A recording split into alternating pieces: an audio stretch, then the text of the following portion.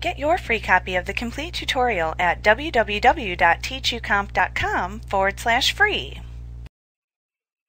You can also look up information by doing a full text search for the word or words for which you are looking within all of the text contained within all of the help files.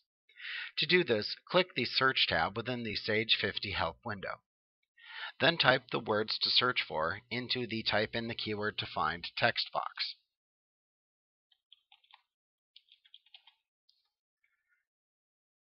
Then click the List Topics button below that to display the help topics that have the most occurrences of the word or words that you typed within them. These help files will display in a list below the search box. You can simply double-click on an item within the list to have it display in the window to the right.